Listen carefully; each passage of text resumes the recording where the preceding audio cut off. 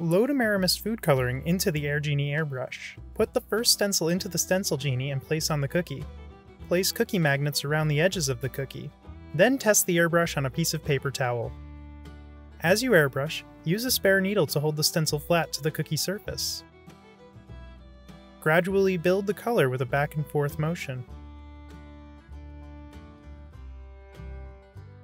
After a second coat of food coloring, remove the cookie magnets and place the stencil on the next cookie.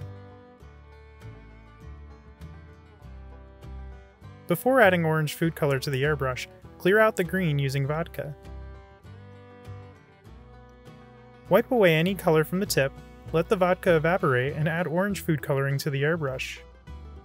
Load the overlay stencil into the stencil genie and line it up on your cookie. Test the airflow on a piece of paper towel before airbrushing the design. Use a spare airbrush needle to hold the stencil flat anywhere it may not lay flat.